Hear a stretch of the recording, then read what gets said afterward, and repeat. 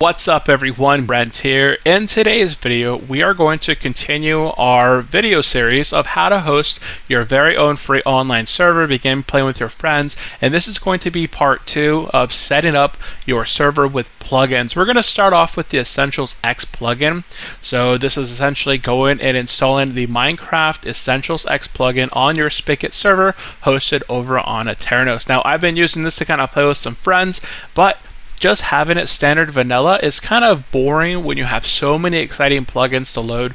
So we're going to go ahead and kicking it off. We're going to be starting off with the Essentials X and how it can be used to kind of increase the fun of your server. So that is what we're going to be covering today. If you are brand new to my channel, have not yet subscribed, definitely go down below, subscribe to the channel, give this video a thumbs up if you find it fun and entertaining. And of course, if you have any comments or questions at any time going over this video, or would like to share what plugins you use on your own PC, server or on a public server, let me know down in the comment section below. I'm always looking for new plugins to take a look at or mods to kind of try out and check out. So me and my son play and I think it's really exciting to be able to configure and customize your server to how you want to play. So let's go ahead and get into the video.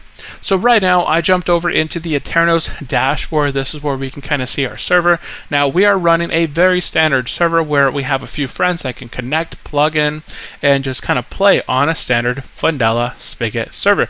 Now if you loaded, you know, this will work with whatever, you know, if you're running vanilla, vanilla Minecraft doesn't have any mods or plugins that you can use. But if you load Paper or Spigot, you can load some plugins. If you load Forge, you can load some mods. We discussed the differences between Paper, Spigot, and Forge and vanilla. Vanilla, no mods. Forge, you have to have mods on the client and server in order to run. And Paper and Spigot, you can load plugins that are not required to have plugins and mods on the client side so they can just kind of join into your server and have fun. So kind of going off there, because we do have Spigot loaded on Aternos, we're able to go down and we find a plugin folder here. Now right off the bat, they kind of list a few really good ones up front, which we'll be loading here in today's video. I'm actually going to be starting with two. We're going to be loading Essentials X and we're going to be loading Vault. Vault isn't really needed based off what I've seen in the past when I've loaded Essentials X. But when I look at their website, they do recommend, highly recommend, that you load Vault along with the Essentials X plugin. So in this case, we're going to go ahead and I'm going to go ahead and just right click and open it in a brand new window. That way I can kind of leave that window up. In this case, we just want to load the latest one. So by clicking here on the little checkbox, it's going to be loaded on your server. Now within about 5-10 seconds, you're going to get a little check mark, which is now showing there and we should have that now loaded on our server. Now it doesn't show any information here as far as requiring the Vault plugin, but if you do click on the link here and check it out. Now down here towards the bottom, requirements, you'll see that, let me go ahead and zoom in just a tad bit there. The requirements here is it, the Essentials X is designed to use a modern permissions plugin. Now they recommend using LuckPerms, but you know, that's what they recommend. But that's only recommendations. Now, they also say that you also need Vault for prefix suffix support. If you're trying to abbreviate your commands using the Essentials X, you will need the Vault plugin. If you don't if you're not trying to abbreviate or set prefixes and suffixes to your Essentials X plugin, you don't really need Vault. And I think maybe for this case, I'll load Vault just to have it on there, but I'm not going to be adjusting any sort of prefixes or suffixes in this video. And then of course it has here, Essentials X currently supports Bukkit, Spigot, and Paper, which is the recommended use, and other server implementations may work, but are not recommended as they may cause compat compatibility issues. I found a really great page as far as breaking down as to what the package comes with. Okay, so the breakdown of what this plugin comes with is it comes with the essentials, which is basically just the heavy hitting piece that controls everything the general signs, the economy API, and a bunch of other pieces that kind of stitch together. Now, it does come with the essentials chat, which you're able to set colors and specific permissions within the chat system by using that piece. I always recommend keeping chat around. There's also the essential spawn. This allows you to set homes, set spawns, set different little areas where when people are initially joining your server, you'll be able to kind of change and set up your own spawn location. I think this is a really good one. I don't see anyone ever having to delete this one.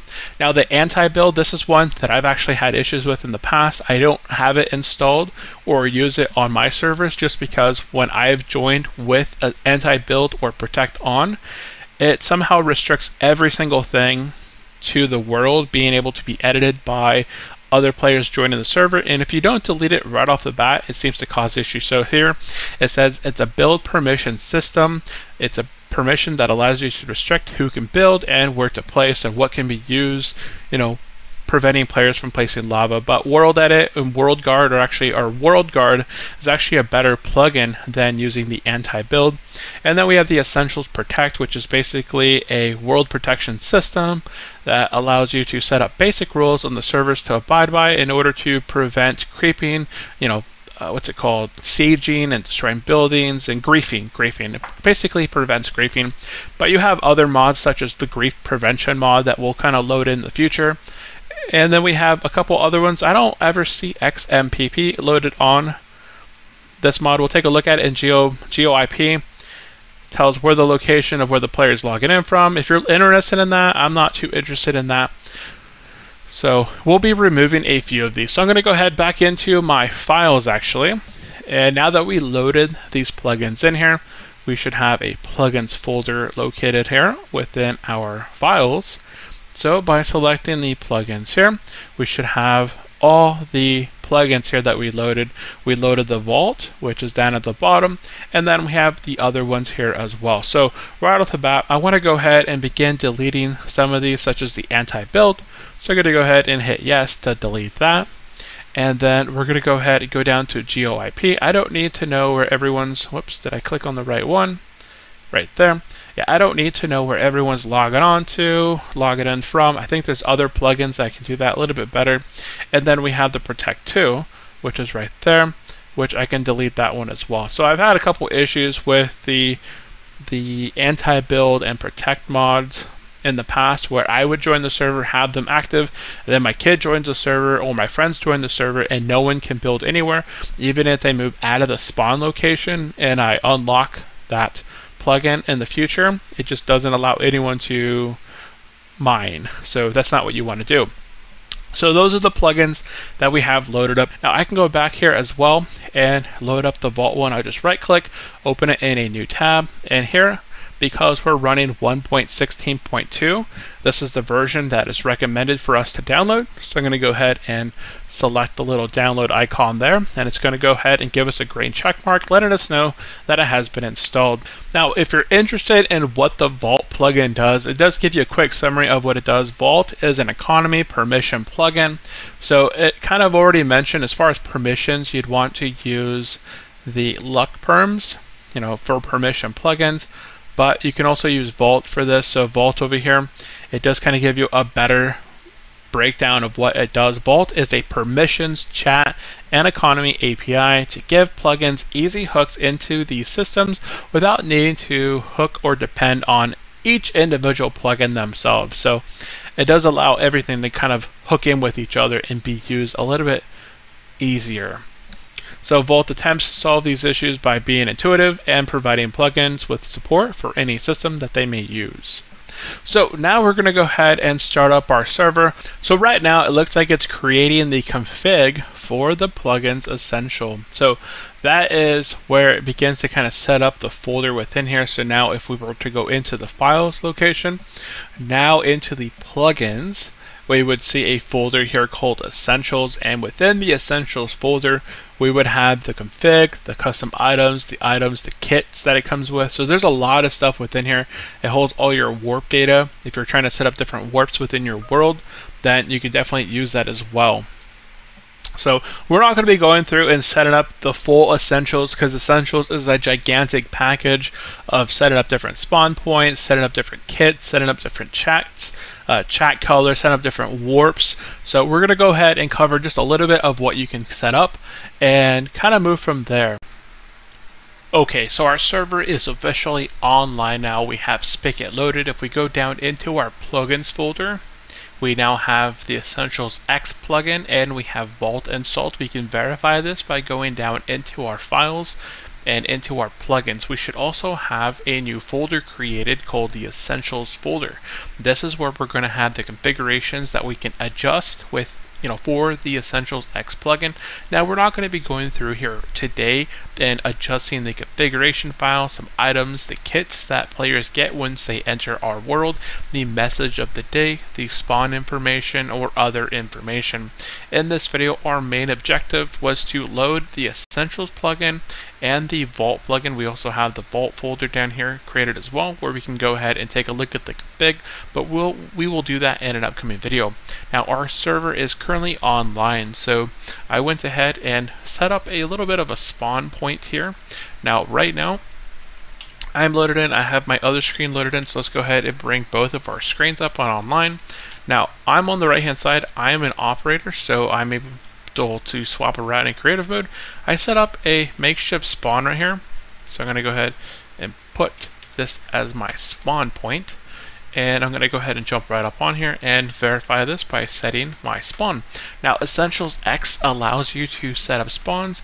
It has a ton of information. You can go ahead and type slash help and you have 17 pages of information pertaining to help with either Vault or the Essentials X plugin. So if you want to go ahead and jump into the next pages, you can go ahead and go through each page and kind of take a look at what each page is able to do. You're able to use pay in order to pay players on the server. So if you want to pay the other player here, Sneaky J, you would enter the player name and the amount. So if you want to pay him 100 bucks for some item that he had that you would want, you can do that as well. Now, we haven't configured anything within the Essentials X plugin. So I am here, I'm an operator, but this character is not. He just joined the world.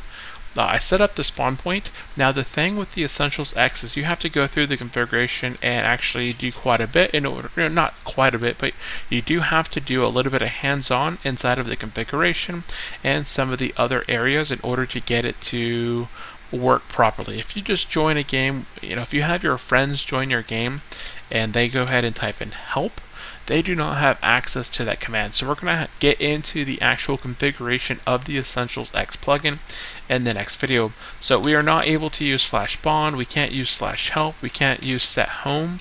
We're not able to use any sort of functions because of the basic help function being disabled. Uh, we don't actually have access to anything else. So that is going to be it for today's video, you guys. If you guys did enjoy this video, of course, remember to subscribe to the channel, give this video a thumbs up. If you have any comments or questions going over anything that was discussed in today's video, or what you would like to see discussed in our upcoming Essentials video where we go over the configuration, go ahead and drop that down in the comment section below. But besides that, that is going to be it for today's video. Thank you all for tuning in. I will see you next time. Have a great day. Bye.